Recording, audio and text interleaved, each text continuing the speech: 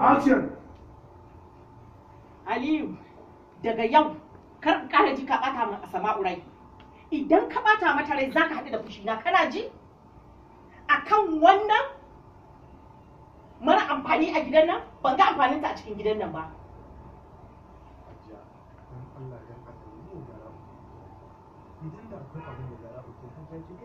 Na. Laifinta ɗaya.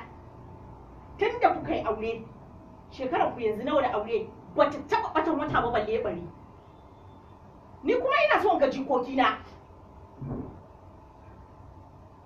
Eh?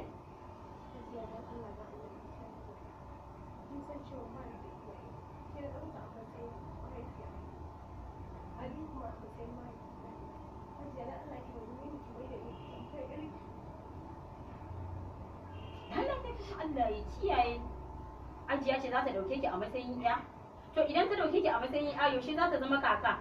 Aniyar ki ta bi ki. Ke? Ban gaya miki idan muna magana a cikin gidan nan ki daina sa mutane baki ba? To na rantse da Allah daga yau sai yau idan muna magana a cikin gidan nan kin ƙara sa baki. Ina faffasa miki baki. Fasa mata baki.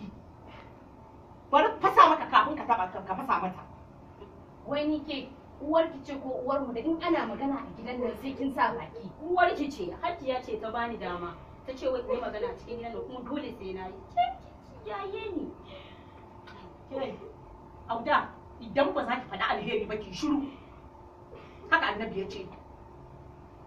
Yawwa, tashi ki ki bace min a nan gurin. Ni za ki kawo maraini ya ce ke, a'a, hawaini ya ce ke. Tashi! Bita, bita, bita shanyayye, bita! Bita, ta gama da kai ai, bita! Je ki, bisu. Wallahi Hajiya har kin burge ni wasa. Amma bai haƙuri, aure ne sai an yi shi, kaki damu, kaki damu. Kin ji ya? Kaki damu, aure sai an